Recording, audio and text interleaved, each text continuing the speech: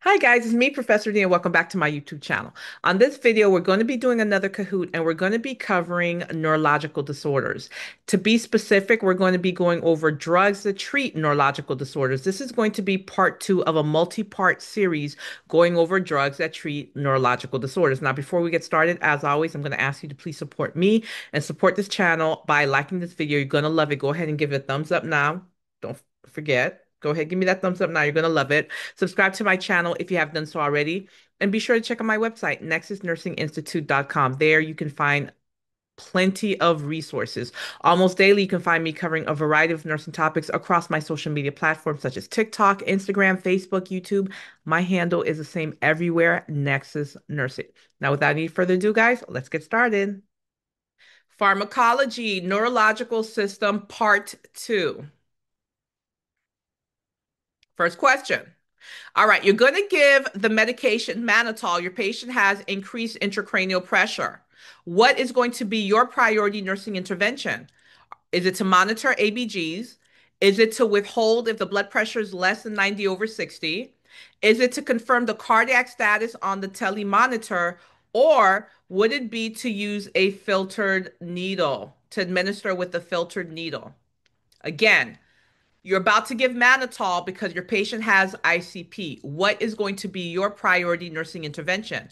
Monitor ABGs, withhold if the blood pressure is less than 90 over 60, confirm cardiac status via tele, or administer with a filtered needle.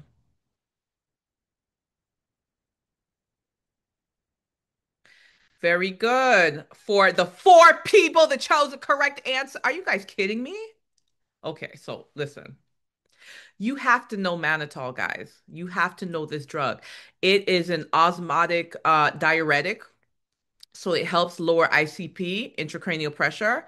However, this drug tends to, um, what's the word I'm looking for? Uh, uh, crystallize. Okay? Now imagine you don't use a filtered needle when you're pulling that drug out. You're gonna mess around and cause that patient to have a pulmonary embolism or or a stroke or organ damage. So many things can happen from the crystallization of that medication just because you as a nurse forgot to use a filtered needle. Then you're standing before the board of nursing trying to defend your license right? So when it comes to mannitol, that's very important for you to know. You need to know that you have to use a filtered needle when um, withdrawing that um, that uh, um, solution. All right, which patient teaching about Phenytoin is correct? Is it if your urine turns brown, call the healthcare provider right away. You should take this drug on an empty stomach you need to switch to a soft bristle toothbrush, or you may get a sore throat while taking this medication.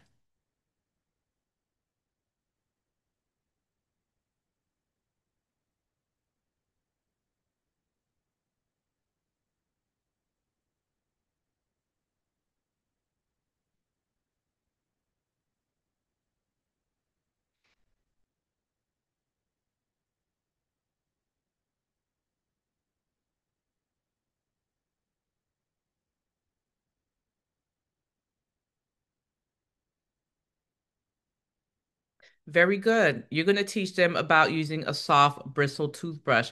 So this medication, which is Dilantin, it's an anti-epileptic uh, agent, anti-seizure drug. But one of the things that it's known to cause um, is uh, gingival hyperplasia. So you're going to teach the patient to use a soft bristled toothbrush. Now, yes, this drug can turn your urine brown or like a reddish brown uh, color, but that's a side effect and it's harmless. Well, Professor D, it's a side effect. Let me tell you what the difference between side effect and adverse effect is. We use it interchangeably, but they are not the same thing. A side effect are things that may happen, but the healthcare provider is not going to change the patient's dosage or medication if it happens. But you do have to warn the patient. We don't want it to take it. We don't want to take them by surprise because they'll stop taking the medication. But nothing's really going to change. We just let them know. So um, their urine changing either like a red, reddish color or reddish brownish color, that's a side effect. It's something that can happen. We're going to warn them, but it's not something that we expect their drug, their uh, dosage to change, right? You should take this drug on an empty stomach. Well, no, this medication is very hard on the stomach and cause GI issues. So you're going to teach them to take this drug with food. And the last one, you may get a sore throat while taking this medication. Let me tell you why this one was tricky. Because it is possible you may get a sore throat. You may get a fever. But when you say, oh, you may get a sore throat when you take this medication, it sounds as if you it may happen like this is a side effect, but it's fine. No, it's not. You tell them if you get a sore throat, you get a fever, any symptom of infection, you need to let us know right away. Okay, that is an adverse effect. You let us know right away because most likely what's going to happen, the healthcare provider is either going to change your drug, change the dosage, something is going to be changed. That is an adverse effect. Okay, all right.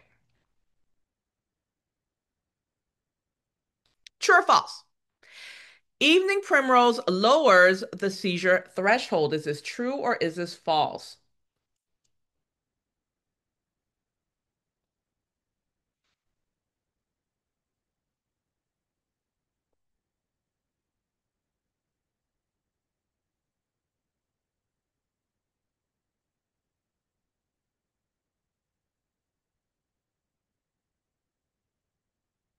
You guys are split on the live. Wow. It's true, guys. It is absolutely true. And so, um, when this uh when the patient is on uh anti-seizure drug, you have to ask that patient what over-the-counter drugs are they taking, over-the-counter meds, what um herbs are they taking, because evening primrose absolutely does lower the seizure threshold and it places that patient at a higher risk for getting seizures or going into a seizure. Okay. Okay, the code to get in is 195218. Everyone that's on the live right now, can you do me a favor, please? Just type that code for the newcomers. 195218. Just type that on the live for me, please. 195218. Thank you.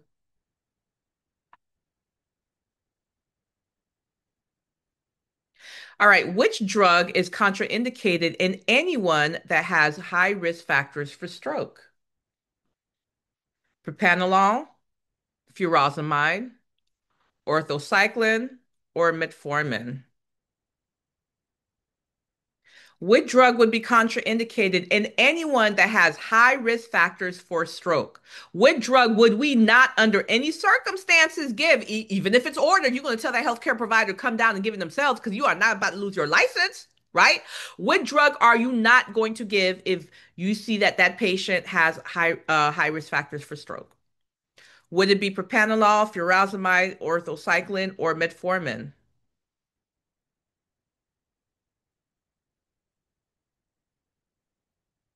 Very good. Ortho-Cyclen. Um, this uh, hormone replacement itself puts you at high risk for stroke. Very, very high risk for stroke. DVTs, we're not even playing those type of games. Okay. Propanolol, you guys know that's a beta blocker, brings down blood pressure. Furosemide, uh, that's a diuretic agent, brings down uh, decreases of fluid in the body. And then metformin is an oral anti-diabetic agent. Why? I don't know the action that causes like the the chemical reaction in the body that causes the patient to be at high risk for stroke. I couldn't even tell you. Like I'm sure if I read it somewhere, I'd be like, "Oh yeah, that's true. I just don't remember." Um, but what you do need to know, let me tell you how bad it is. No practitioner in their right mind will prescribe this to a patient that's a smoker because a smoking that's already a high risk for stroke, right? No one's trying to lose their license.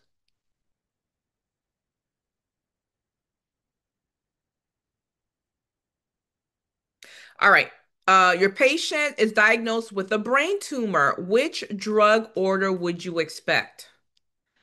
Cyclophosphamide, octreotide, erythropoietin, or phenytoin? Which one would you um, expect to be ordered?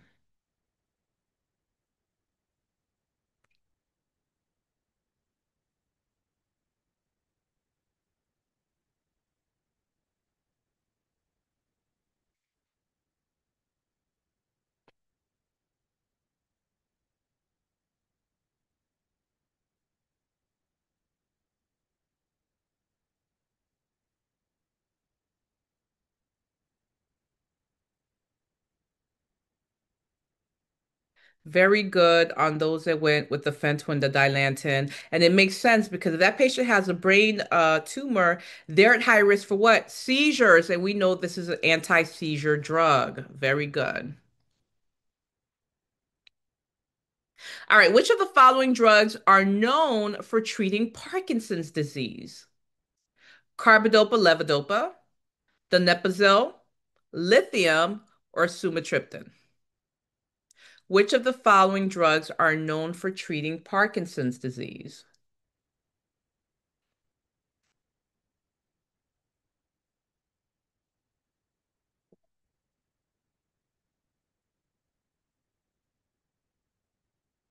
Guys, the contest is almost over. I know you guys are sick of me, but if you haven't voted for Matthew yet, please go on my page and vote for him.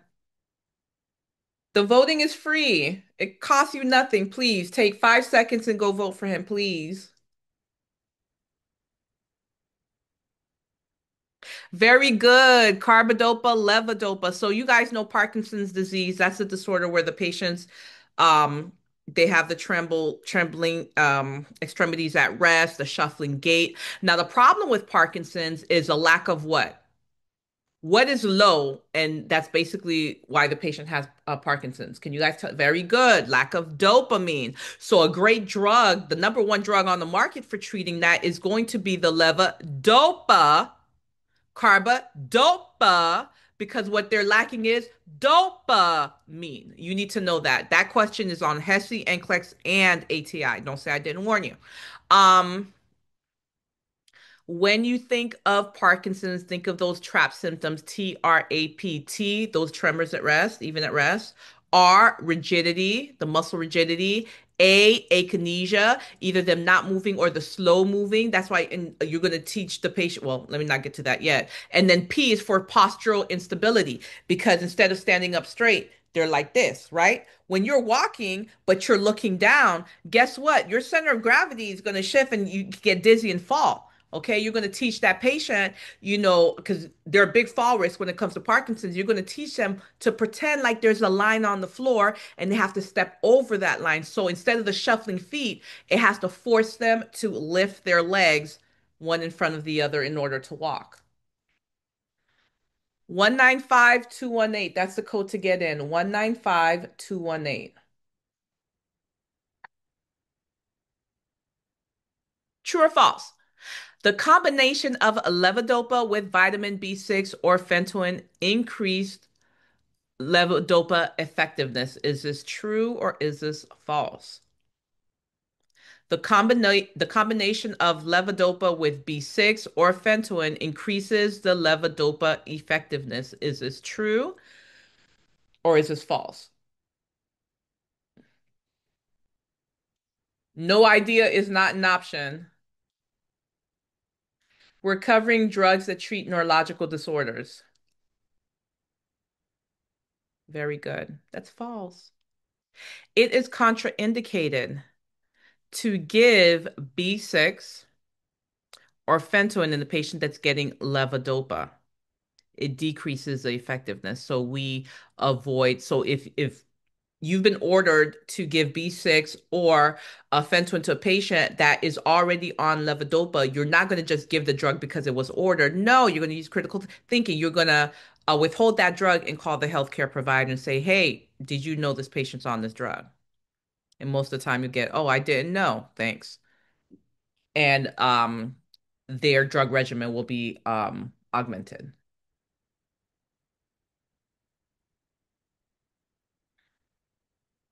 All right, select all that applies.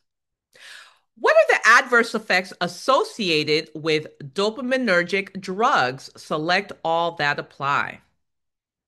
Here are your options. By the way, if you're new to my channel or new to me, I, I preach this every single time.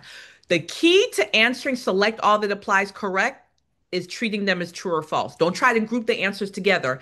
Each option, is it true or is this false? So the question's asking about uh, adverse effects associated with dopaminergic drugs. Here are your options increased heart rate, decreased heart rate, increased blood pressure, decreased blood pressure, polyuria, urinary retention. Which ones are adverse effects associated with dopaminergic drugs?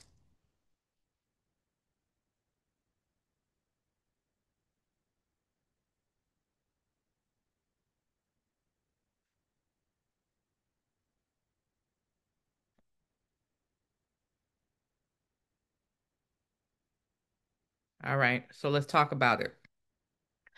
Increased heart rate, that is an adverse effect. Increased blood pressure, that is an adverse effect. But not polyuria, not increased urination. It's actually decreased urination. So what happens is urinary retention.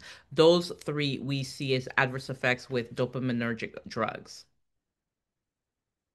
True or false? Anticholinergic agents are used to treat Parkinson's disease. Is this true or is this false? Anticholinergic agents are used to treat Parkinson's disease. True or false?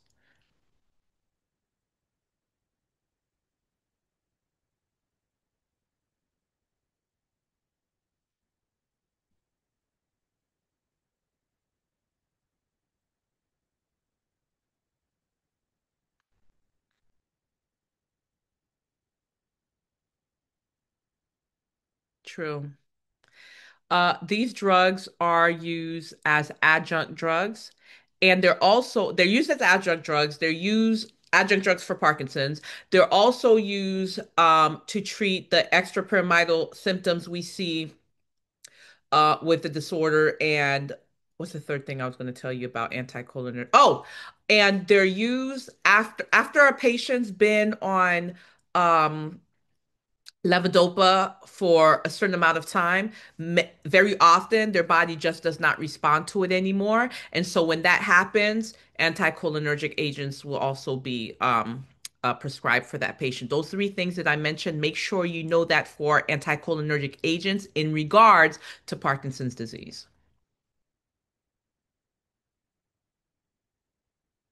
Select all that apply. What are the adverse effects of anticholinergic agents that the patient should be instructed on? If you've been following me for any amount of time, you and you're saying that poem right now. You know you already know the answer. Here are your options: xerostomia, urinary retention, blurred vision, constipation, photophobia, nausea, and vomiting. What adverse effects of anticholinergic agents that the patient um, what are the adverse effects of anticholinergic agents that the patient should be instructed about? I see you, Bree Bree. Finish the poem. That's the first part.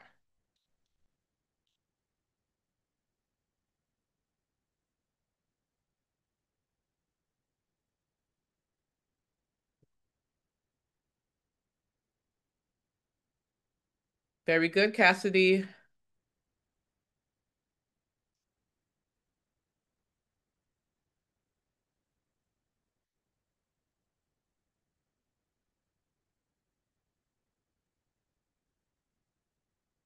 All of them. Anticholinergics can't see, can't spit, can't pee, can't can't see, blurred vision, can't spit, dry mouth, xerostomia, can't pee, urinary retention, can't constipation. Also, this patient may experience photophobia, uh, um, uh, sensitivity to light, and nausea, vomiting. Guess what? Everything causes nausea, vomiting. Everything causes nausea, vomiting. Dry mouth. Oh, wow. Okay, and that's it, guys. There were just uh 10 slides. So let's see how you guys did, and then I'll get back to you guys on the live. Let's see how you did.